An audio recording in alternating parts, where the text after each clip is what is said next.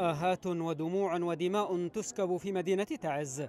انفجاران بعبوتين ناسفتين زرعتا في أكوام القمامة وقع أحدهما في وسط مدينة تعز والآخر في طرفها الشمالي الغربي ليصنع هذا الجو الحزين في أيام وليالي شهر رمضان المبارك.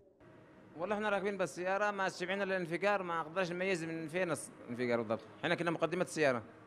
وهذه بالوسط هي ثنتين من خواتي. بقية الركاب بالخانة الأخير.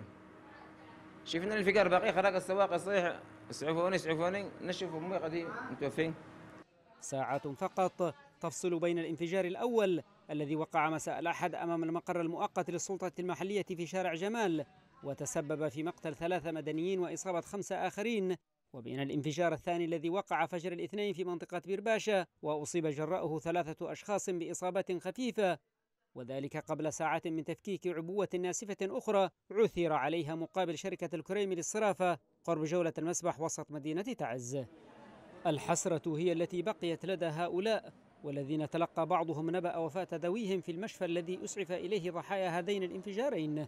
المعلومات الواردة من مسرح الحدث أفادت بأن الأجهزة الأمنية باشرت التحقيق في الحادثة الإجرامية حيث وصلت فرق التحريات لمسرح الأحداث بعد وقوعها مباشرة لإجراء التحقيقات الأولية وسط تأكيدات باتخاذ كافة الإجراءات لكشف ملابسات الجريمة والوصول لمرتكبيها لكن لم يصدر حتى الآن بيان عن هذه الأجهزة يتهم طرفا بحد ذاته في الوقوف خلف هذه الأعمال الإرهابية في حين سارعت مواقع إعلامية عرفت بمساندتها لكتائب أبي العباس إلى تغطية الانفجارين من زوايا تدفع إلى الاعتقاد بأن ما جرى في تعز يأتي ضمن مخطط يهدف إلى إرباك الوضع الأمني في المدينة بعد الانسحاب المعلن للكتائب الإرهابية من آخر الأحياء التي كانت تسيطر عليها في المدينة القديمة.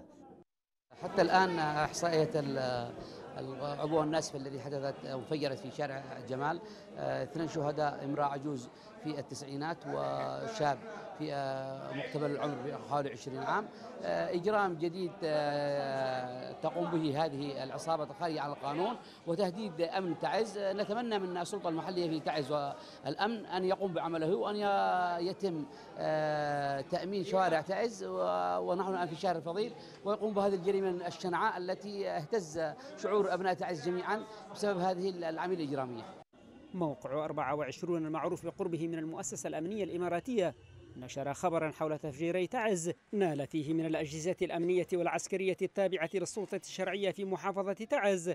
وذهب إلى حد وصف كتائب أبي العباس الإرهابية بالقوات الحكومية. يأتي ذلك وسط ارتفاع أصوات تطالب الأجهزة الأمنية بتفعيل دورها في مواجهة التهديدات الأمنية الخطيرة التي تهدف إلى إفشال جهود تطبيع الحياة في مدينة تعز بعد أشهر من المواجهات مع العناصر التخريبية والإرهابية.